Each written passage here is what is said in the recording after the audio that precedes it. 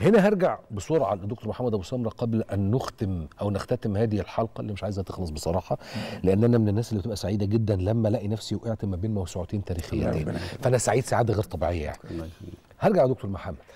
مصر تبذل الغالي والنفيس لأجل عدم تصفية القضية دي بأي حال من الأحوال وضد التهجير القسري بل وضد محاولات التهجير الطوعي بادعاءات عليكم أن تنجوا بحياتكم نعم. ثم نعيدكم مرة أخرى إلى آخره. وبناخد خطوات على كافة الأصعدة سواء كان الصعيد الرئاسي الدبلوماسية المصرية الخ الخ الخ ومؤسسات وأجهزة تجلس على موائد التفاوض نحتاج دائما مش هقول لظهير لكن نحتاج للتكاتف العربي لتوقيع الضغوط. ولا أنا نعم. غلطان؟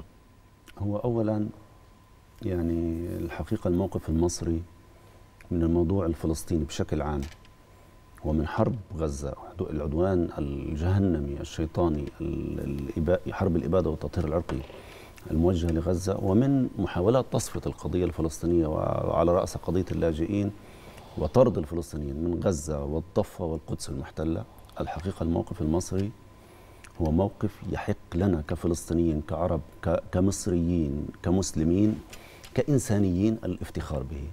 مصر الحقيقة وقفت وما زالت تقف وستظل واقفة. موقف يسجل لها في أنصع صفحات التاريخ طالما- طالما نتحدث نحن عن التاريخ. ويعني الحقيقة ودون أدنى مجاملة يعني موقف السيد الرئيس عبد الفتاح السيسي هو موقف مصري فلسطيني عربي قومي مشرف.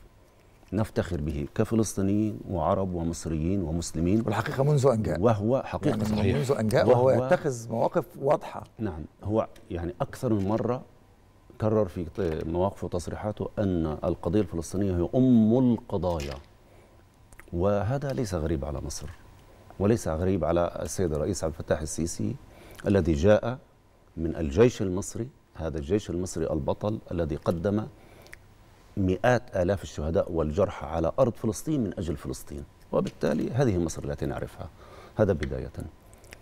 في السياق الإنساني ربما يتفاجأ الكثير عندما يعلم أن 87% من المساعدات التي دخلت إلى قطاع غزة هي مساعدات قادمة من مصر ومن الشعب المصري ومن الدولة المصرية. على الجانب الآخر الإنساني استقبلت حتى اللحظة المستشفيات المصرية أكثر من 25 ألف جريح فلسطيني ما زال تقريبا 15 ألف منهم جريح داخل المستشفيات المصرية تتكفل بهم الدولة المصرية بشكل كامل على نفقتها الخاصة. بل يعني المفارقة المهمة في هذا الجانب أن بعض الدول العربية والإسلامية طلبت أن تغ- أن تستقبل مجموعة من الجرحى الحقيقة. تم ذلك من خلال التنسيق المباشر.